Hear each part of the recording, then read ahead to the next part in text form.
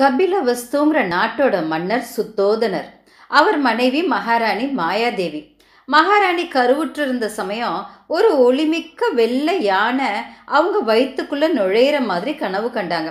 இந்த உலகத்தில் மகான்கள் அவதரிக்கிறதுக்கு முன்னாடியே அவங்க பிறக்க போகிறத சில அறிகுறிகள் இந்த உலகத்துக்கு அறிவிக்கும். அப்படி இந்த கனவு மாயாதேவி ஒரு மகானை மகனாக அடைவாங்கன்னு எடுத்து சொல்லுச்சு.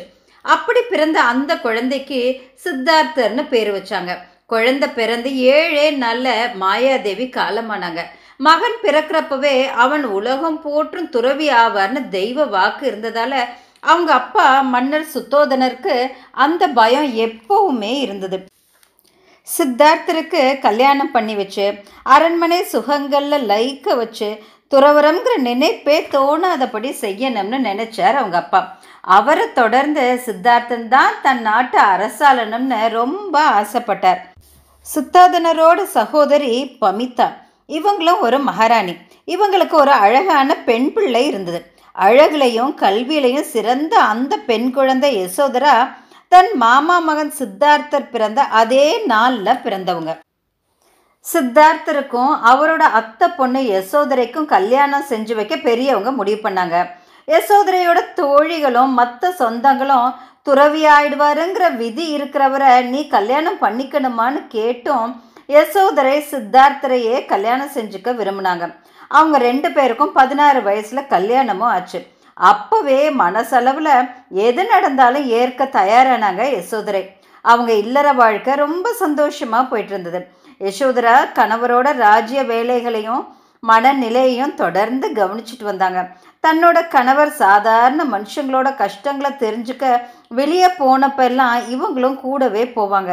மனுஷங்க அனுபவிக்கிற கஷ்டங்களை பற்றி நிறைய ரெண்டு பேரும் பேசுவாங்க.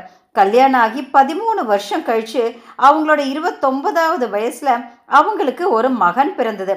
அந்த குழந்தைக்கு ராகுலான்னு பேர் வச்சாங்க. குழந்தை பிறந்த ஏழாவது நாள் நடுராத்திரி சித்தார்த்தர் உலக பற்று துறந்து யார்கிட்டையும் சொல்லாம துறவரம் போனார். எல்லாருக்கும் விஷயம் தெரிஞ்ச உடனே யசோதராவை மறுமணம் செஞ்சுக்க சொன்னாங்க. ஆனா அவங்க அதை விரும்பல. மகனை நல்லபடியா வளர்க்கணும்னு மட்டும்தான் நினைச்சாங்க. சித்தார்த்தரோட துறவர முடிவுக்கு எதிராவோ அவர் ஞானம் பெற தடையாவோ ஒருபோதும் அவங்க இல்லை. கணவன் போன பாதையிலேயே அவங்களையும் ஈடுபடுத்திக்கிட்டாங்க. ஆனால் தன்னோட எந்த கடமையிலிருந்தும் தப்பிக்கல. அரண்மனைக்குள்ளேயே ஒரு துறவு வாழ்க்கை வாழ்ந்தாங்க. பட்டு துணிகளை உடுத்திக்கல. அரண்மனையோட அறுசுவை உணவுகளை சாப்பிடல. பஞ்சு மெத்தையில் படுக்கல. நகைகள் எதுவும் போட்டுக்கல. சித்தார்த்தர் போதனைகளை பின்பற்றினாங்க. தன் கணவர் ஒருவேளை உணவை கூட பிக்ஷை எடுத்து சாப்பிட்றாருன்னு தெரிஞ்சதும் தன்னோட எளிய உணவையும் ஒரு வேலையாக குறிச்சிக்கிட்டாங்க. சித்தார்த்தரோட நெறிமுறைகளுக்கு ஏற்ற மாதிரி தன் வாழ்க்கையே மாற்றிக்கிட்டாங்க அப்பாவோட கண்டிப்பும் அரவணைப்பும் இல்லாமல் வளர்ற பிள்ளை தன் போக்கில் போயிடக்கூடாதுங்கிறதுல கவனமாக இருந்தாங்க. மகன் பிறந்ததும் அவங்க அப்பா அவங்கள விட்டு பிரிஞ்சு போனதை எதிர்மறையாக சொல்லாமல் புத்தரோட பெருமைகளையும் அவரோட உபதேசங்களையும் அவனுக்கு எடுத்து சொல்லி வளர்த்தாங்க.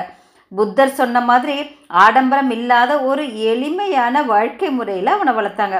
ஒரு இரவுல தலைகீழாக போன தன் வாழ்க்கையை சமாளிக்கிற துணிவு அவங்கக்கிட்ட இருந்தது. சித்தார்த்தர் மேலே அவங்களுக்கு இருக்கிற அன்பு அவர் போனதில் குறைப்பட்டுக்காம அவர் கடமையும் சேர்த்து செய்ய வச்சது. மகனை இழந்து தவிக்கிற மாமனாருக்கு ராஜ்ய காரியங்களில் பக்க பலமாக இருந்தாங்க. பன்னெண்டு வருஷம் பல இடங்களில் அலைஞ்சு திரிஞ்சு ஒரு போதி மரத்தடியில் ஞானம் அடைஞ்சு சித்தார்த்தர் புத்தரானார். ஆனால் யசோதரா கரையில் அலைகள் அடிச்சிட்டு இருந்தாலும் ஆழ்கடல் அமைதியாக இருக்கிற மாதிரி ஞானத்தை அடைஞ்சாங்க. மன்னர் சுத்தோதனர் கேட்டுட்டதால ஒரு நாள் புத்தர் தன்னோட நூற்றுக்கணக்கான சிஷ்யர்களோட அரண்மனைக்கு வந்தார்.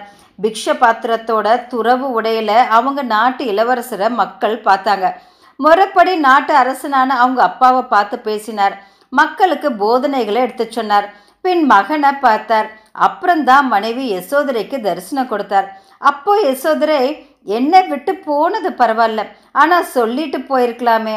நான் தடுத்திருக்க மாட்டேனே. நீங்கள் என்ன நம்பலைங்கிற நினைப்பு தான் என்ன ரொம்ப வேதனைப்படுத்துச்சு இத்தனை நாளுன்னு சொன்னாங்க. புத்தர் அவங்க கிட்ட மன்னிப்பு கேட்டார்.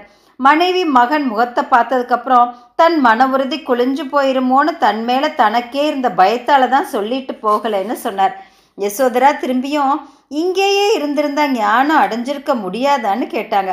அதுக்கு புத்தர் ஞானத்தை அடைய நான் காடு மலைன்னு அலைஞ்சிருக்க வேண்டியதில்லை. ஞானம் எங்கிருந்தாலும் கிடைச்சிருக்கும்.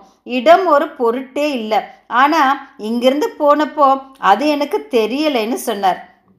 யசோதரா புத்தர்கிட்ட அவரோட குணங்களை அவங்க மகனுக்கும் சொல்லித்தரணும்னு சொன்னாங்க.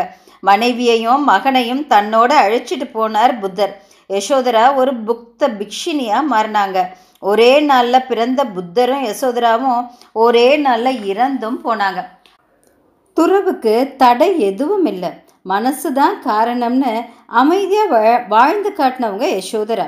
அதனாலேயே புத்தர் பிரபலமடைஞ்ச மாதிரி இவங்க வாழ்க்கையும் இவங்க வாழ்க்கை உணர்த்திய பாடமும் பிரபலமாகாமல் அமைதியாகவே இருந்துடுச்சு.